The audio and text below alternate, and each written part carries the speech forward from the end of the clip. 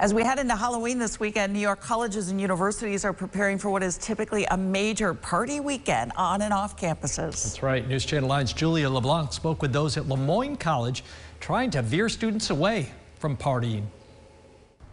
As Le Moyne students head into Halloween weekend, normally they'd be prepping for a dance party on campus held every year at the rec center. It's the big event of the fall semester. Because of COVID, it's canceled. It's rough. I mean, especially for seniors, you know. This is something that we look forward to every year, and it's it's traditions that bond students together. The college hoping to bring students together in other, safer ways with smaller activities like trivia night, food trucks, and outdoor movies, discouraging students from partying off campus and potentially spreading COVID-19.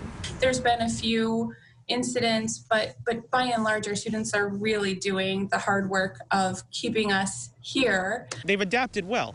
You know, people come to events that they maybe wouldn't have because that's what's available now.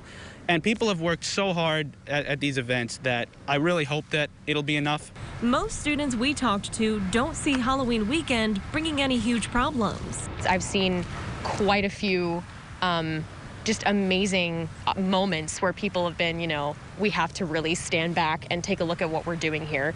But they've also seen the minority ruin it for others. Now is the time to really hunker down and please just stay in this Halloween weekend. It is one Halloween weekend out of, God willing, many in your life. Just relax for a minute, all right?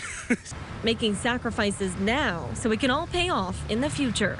At Le Moyne College, Julia LeBlanc, News Channel 9.